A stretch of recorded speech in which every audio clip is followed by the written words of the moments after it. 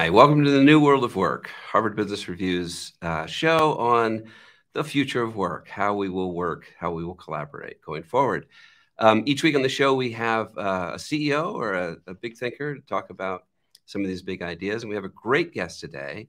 Um, I will introduce her in just a second, but first we will hear from our friends at Unisys.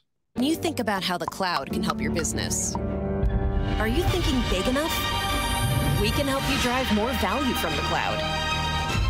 We're Unisys, and we do cloud really well.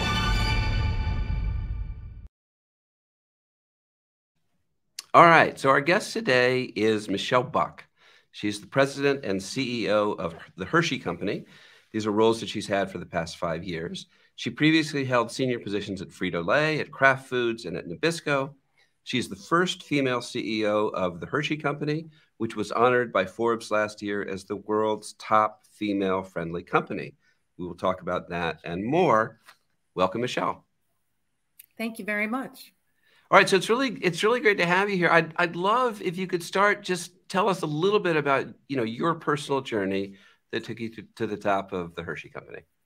Absolutely. So uh, I would say, interestingly, I think there are some parallels between my personal journey and the journey of the Hershey Company because both are really rooted in strong values, being at the core of what led me to where I am and the company to where it is.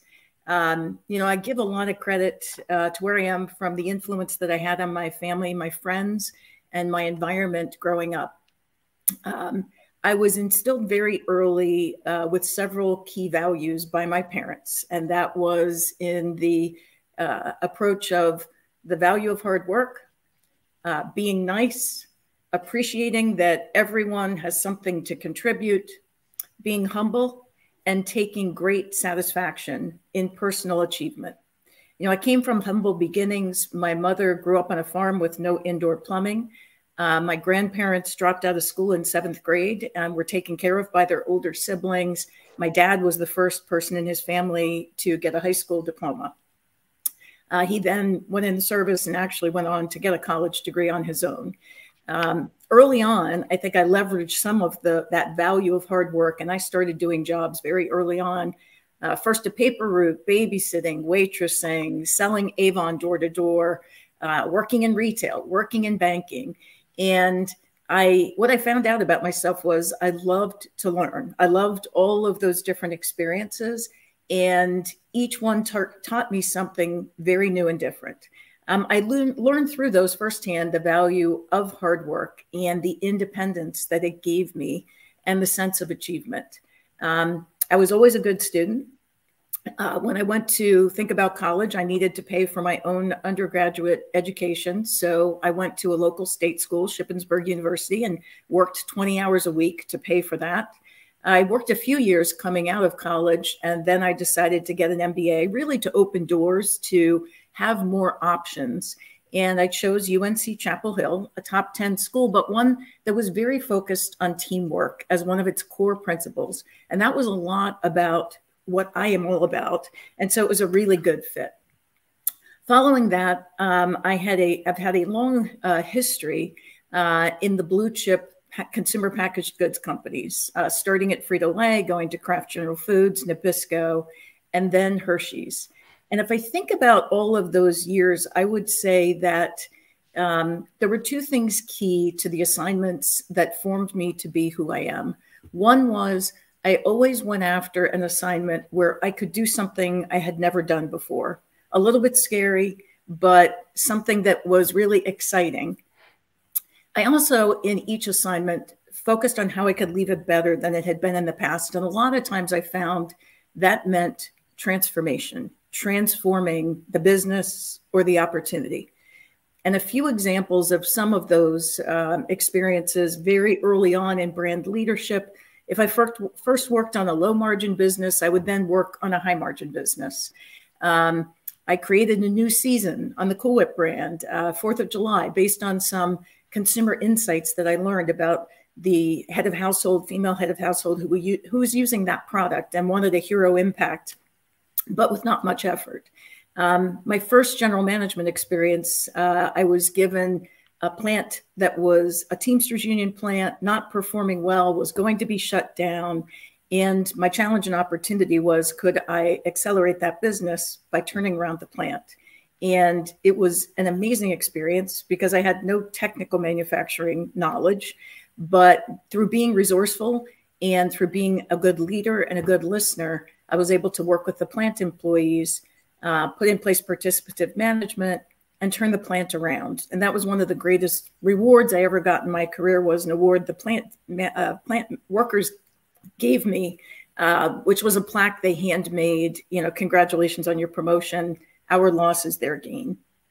I had a second general manager uh, job that was running a business when I was at Kraft that was pretty much disconnected from most of Kraft's main systems of sales channels or their manufacturing network. So that gave me a lot of responsibility. I was given responsibility to run a divestiture early in my career of a business all on my own, working with the investment bankers, something I had never done before. Um, and then here at Hershey, when I first came, I had the opportunity to be one of the key architects of transforming our business model to be a brand building model, uh, taking our advertising from 2% of net sales to about 9%.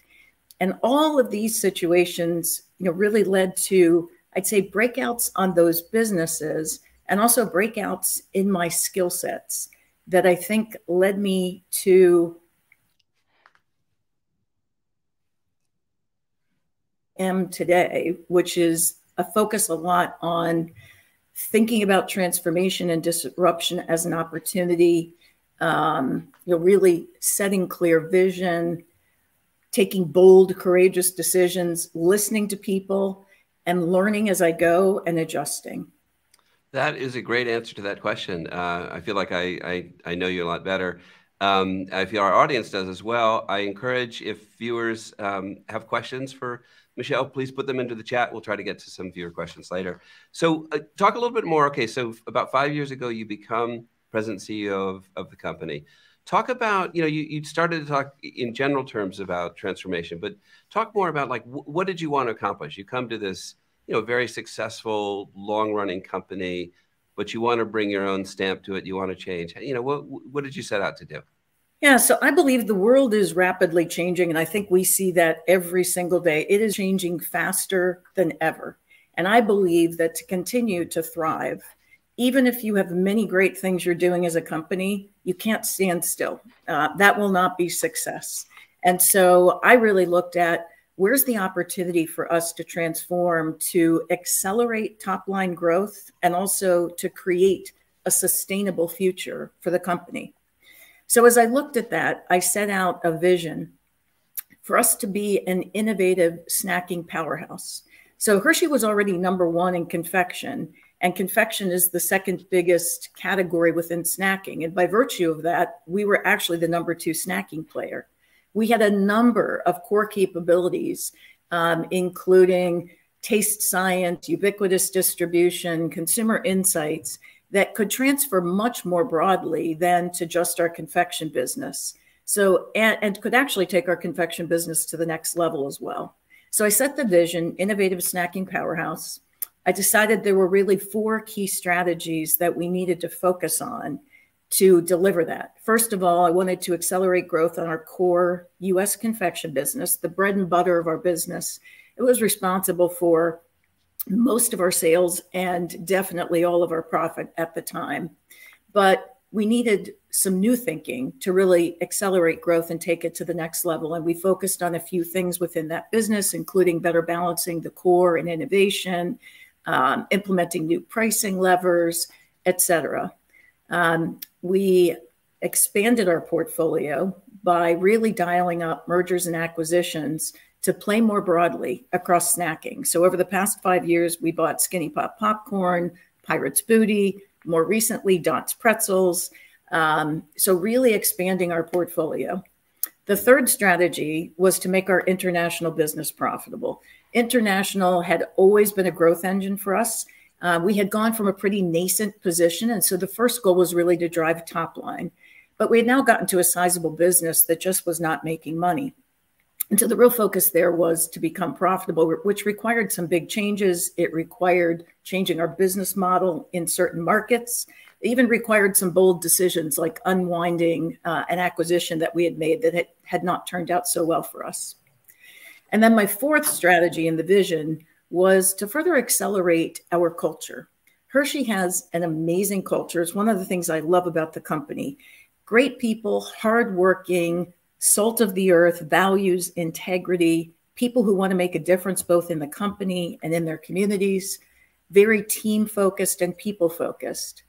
But I saw an opportunity for us to dial up our agility and our risk taking so that we could better seize opportunities.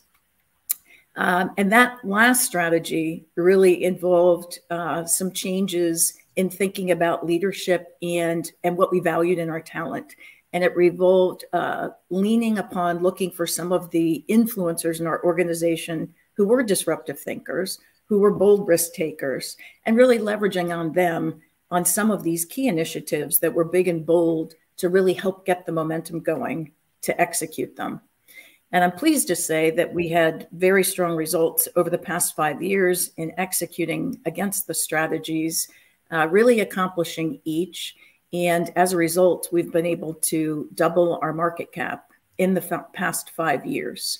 So, um, very pleased with uh, with where we've landed on that and the capabilities that we built along the way.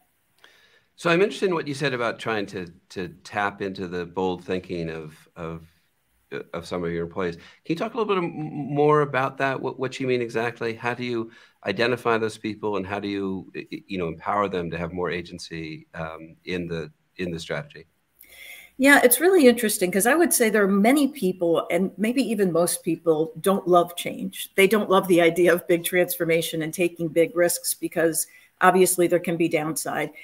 And what I did was I looked across the organization and, and I saw people who had shown evidence of having an ability to some some combination of being able to see the future and see where trends were headed, to really think about what some of our greatest strengths were as a company and how we might fully leverage them.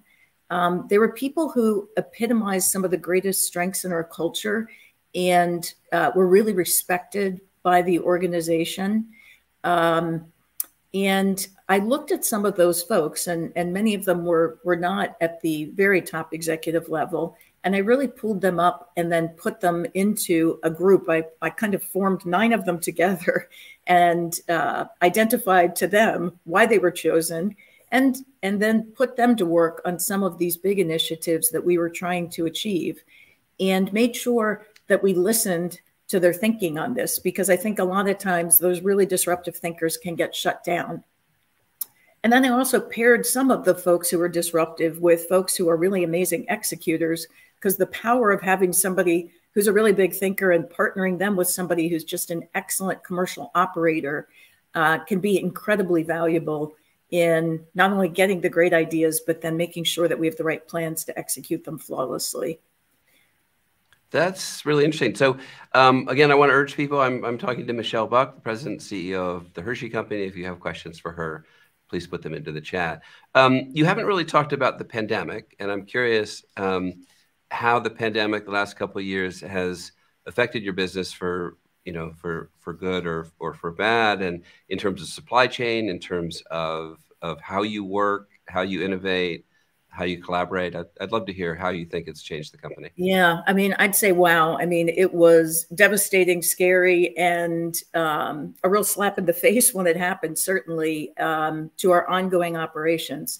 You know what I didn't realize and what I learned was all the work that we had done on our core culture of valuing people and the incredible muscle we built in the five years or the three, I guess, really the three and a half years leading up to it, relative to being agile and taking some risks, actually ended up serving us really well in the pandemic.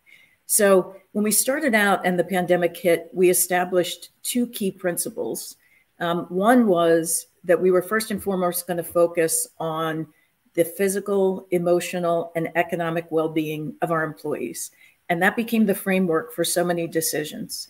The second key principle was we decided that we could either manage this as a risk or we could step back, look at what was happening, and see where there were places that we could seize opportunity. clearly it was a, a huge tragedy for mankind.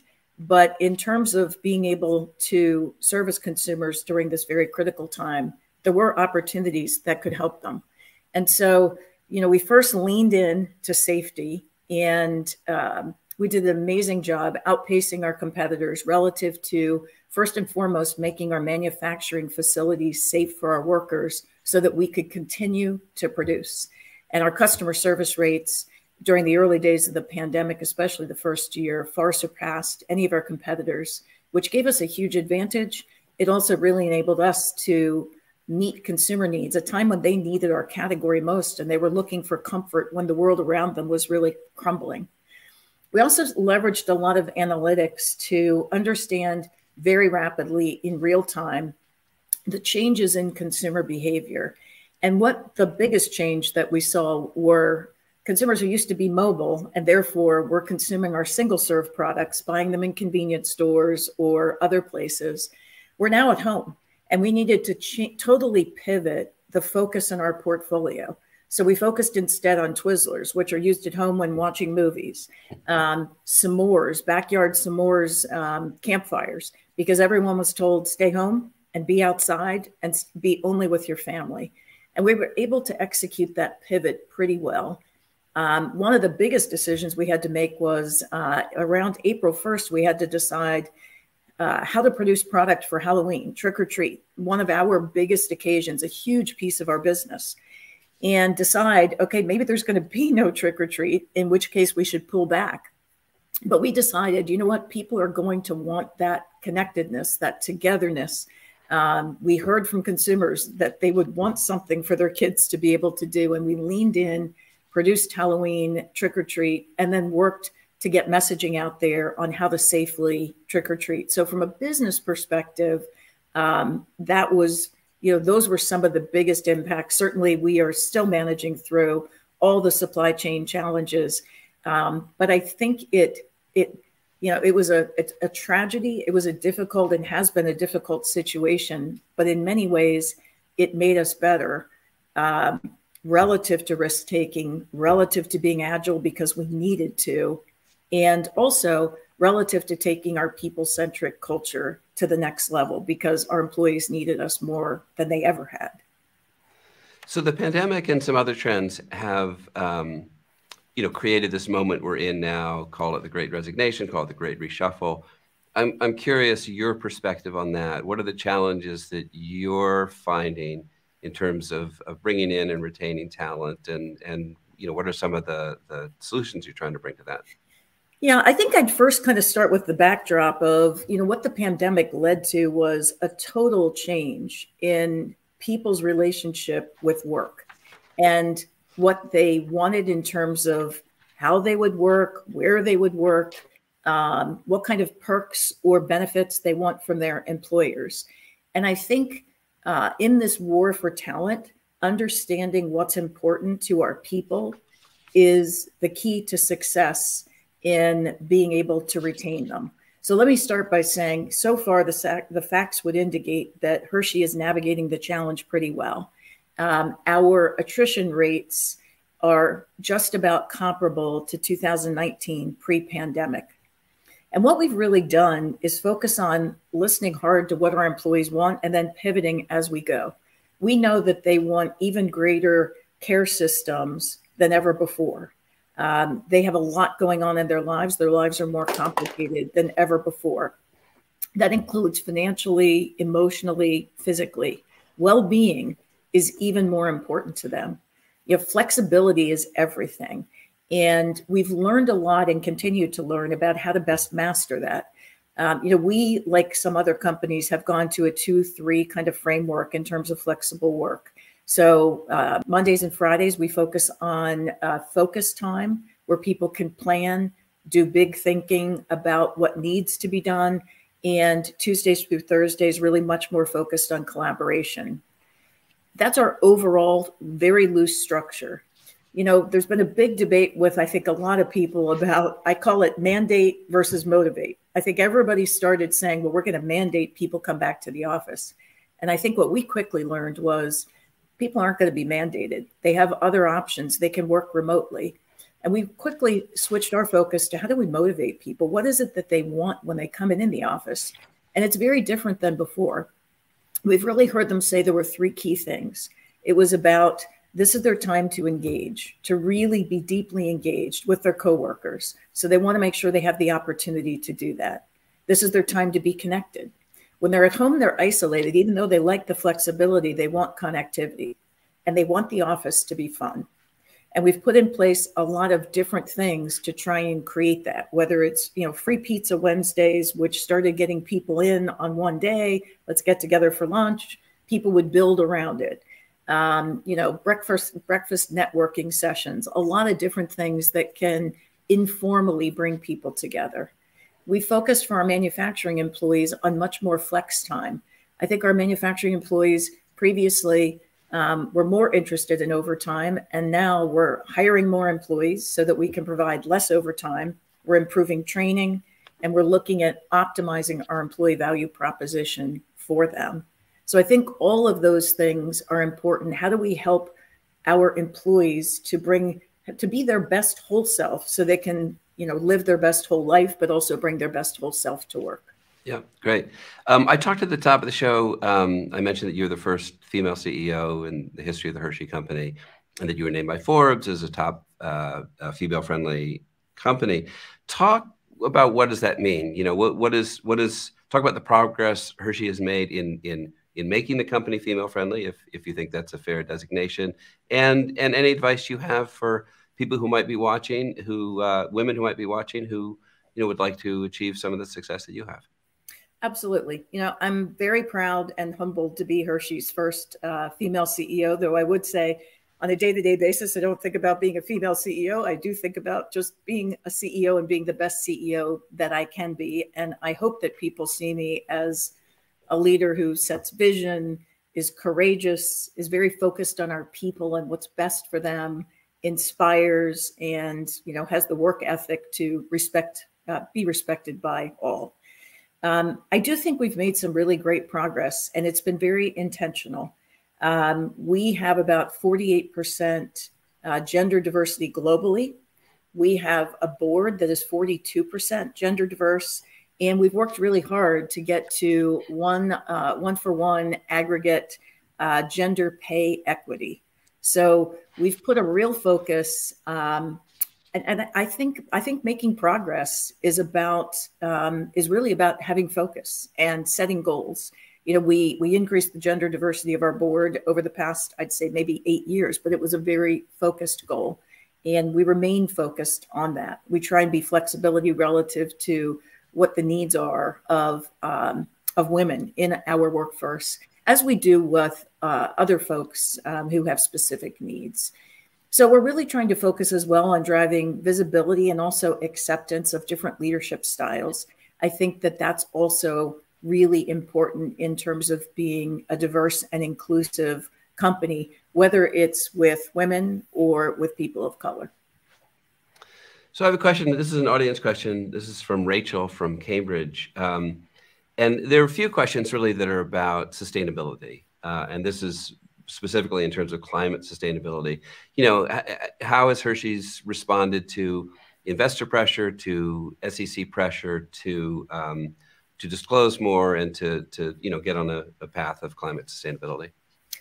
Yeah, so I'd start by saying uh, Hershey's in a unique spot where we, going back to our founder um, over 125 years ago, have been a company um, really grounded in corporate social responsibility. Our founder, Milton Hershey, when he built this company, um, took great care to build a community for all of his employees with everything that they needed to live a good life. And when he passed away and had no children, he left into perpetuity this company to uh, perpetually fund an orphanage that he had started for disadvantaged children. And that Milton Hershey School is still alive and well today.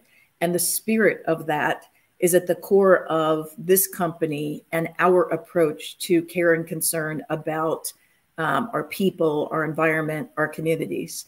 As it goes to environment, we set some very aggressive goals, science based targets specifically around greenhouse gas emission and also packaging. So we set a goal for a 50% reduction in scope one and scope two greenhouse gas emissions, a 20% reduction in scope three, 100% of our uh, packaging to be uh, recyclable, uh, reusable, or compost compostable, and then also uh, 25 million pounds of packaging to be eliminated. And I'm really pleased to say that we are on track to meet or exceed any of those environmentally focused uh, goals. So that's where we are on the environment right now. Okay, great. There's a related question. This is from Chase from Kansas City, who's asking, you know, are there what you know what types of automation are you thinking about that could be helpful to developing sustainable business? So automation is a huge opportunity across every aspect of our business. I would say it's one of the, the greatest, probably for most of us in business today, just because what is available from a technological perspective is so much more advanced now than it's ever been. I would say uh, data and analytics have been key. So, um, you know, as we look at our cocoa supply chain and cocoa farming, the ability to have geospatial mapping um, to really understand uh, farm level specific detail around cocoa sustainability has been a real key to addressing sustainable farming. And that would be one of the you know one of the highlights i would draw relative to um, the impact of technology data and analytics and how it's impacted um, our sustainability efforts Here's a question from Haley from South Africa. You know, are you finding at this moment that your your employees, your staff, are are looking for more meaning, more purpose in their work? You know, it seems to be a trend that I think a lot of us are feeling in our companies. And the question yeah. is whether you've you've seen that at yours.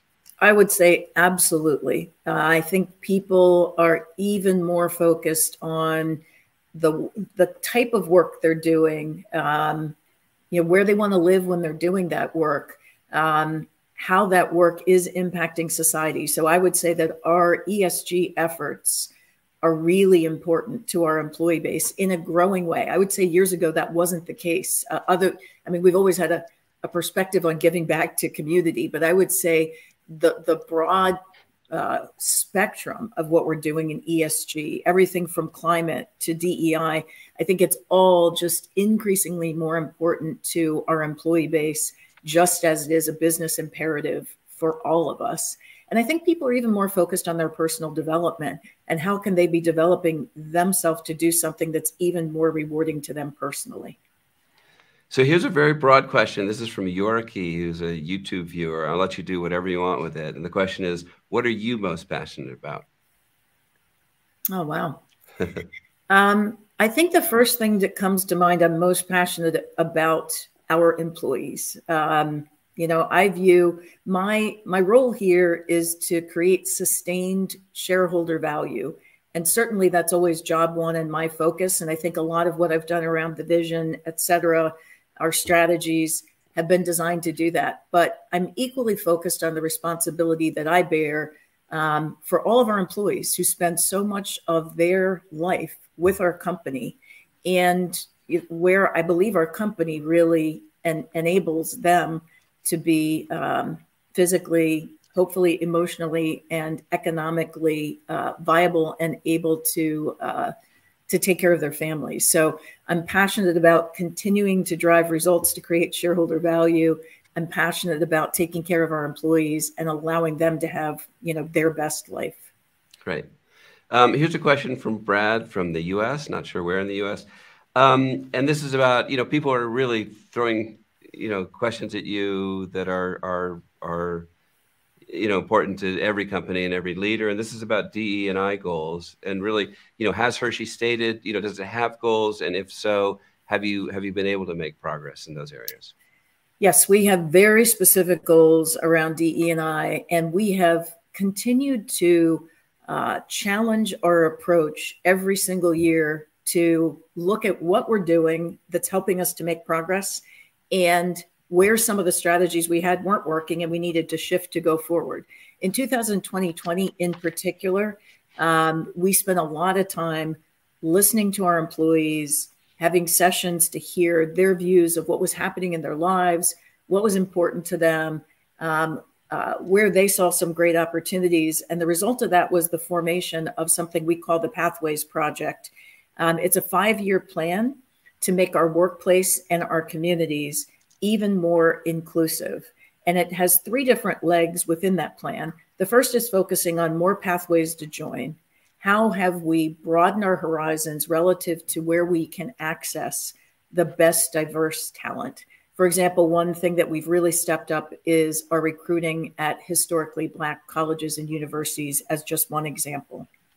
Uh, a second leg is more pathways to grow. How do we reach into our organization and find the greatest diverse talent and really put very focused efforts and plans against the opportunities that we can provide for these folks? And the last was more pathways to reach out, which is really showing up for consumers, but also our communities and where we can make an impact and a difference there, especially in the communities in which our employees live. But we have achieved some really great progress on some of our goals. We achieved one, one for one pay equity for salaried employees um, across the company. We've achieved ahead of a 2025 goal um, our representation goals across our employee base. We wanted to have 47 to 50% women, um, 30 to 40% people of color, um, and then a 10% increase in diverse suppliers um, has already been achieved, and we will triple our diverse spending over the next several years. So, very specific goals and action plans. So, I'm going to ask you a question that you've probably been asked only about a million times. but it just seems like a requirement. You know, are you a chocoholic, and what is your favorite Hershey product? I'm not sure that you can be at Hershey and not become a chocoholic, even if you weren't one to start with. I would have to say Reese Thins are by far my favorite. Um, Reese is our biggest brand, but uh, that chocolate peanut butter is irresistible. All right, and then a follow up. I'll give you a chance to tease the audience. Are there any products, uh, you know, maybe under testing now that uh, that you can talk about that we might see in the future? Sure. So we have a big focus on a better for you platform. We recently bought the Lily's brand of sugar free, reduced sugar chocolates. Um, and we have plant based chocolates underway. I think that might be new for um, some of our listeners. And then I would absolutely say people should try our latest acquisition, Dot's Pretzels. It is a product that people anytime you mention the brand, people say, "Oh my gosh, it is the most amazing product." Um, I crave it all the time, so I think folks should try that as well. All right. So, Michele, I want to thank you for for being on the show. Michele Buck, President and CEO of Hershey Company. It was a great conversation. Thank you. Thank you very much. I enjoyed it. All right. So, uh, our guest next week uh, will be Julie Sweet, who is the chair and CEO of Accenture. We'll be talking about how Accenture thinks about talent, uh, ranging from reskilling its workforce to uh, how it onboards new hires in the metaverse. So this will air live on Monday, May 2nd at 12 noon Eastern Time. So thank you for tuning in. I'm Adi Ignatius. This is the New World of Work.